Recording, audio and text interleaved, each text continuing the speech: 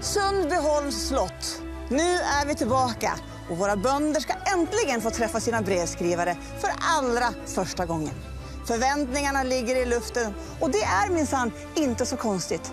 För just idag kanske de kan träffa sitt livs stora kärlek.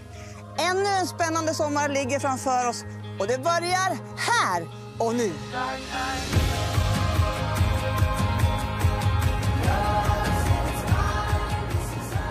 Jag har ju valt ut tio tjejer som jag tycker är helt suveräna. Och att eventuellt min livskärlek sitter i bilen på väg hit till Sundbyholms slott, den, är, den känslan, den är magisk.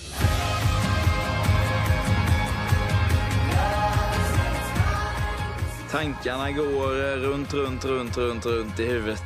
Man kan inte riktigt styra dem nu, utan det, ja, man är väldigt förväntansfull. Ja, jag är supertaggad. Den här dagen är början på resten av mitt liv. Några av dem man har valt ut har man väl inte lyckats att inte fundera på någon gång. Man är väl rätt så förväntansfull och jäkligt nervös.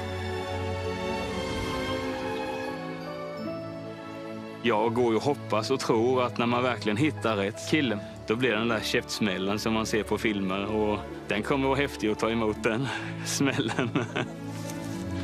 Ja, men jag tror det idag. Jag kommer träffa tösen i mitt liv. Jag tror det.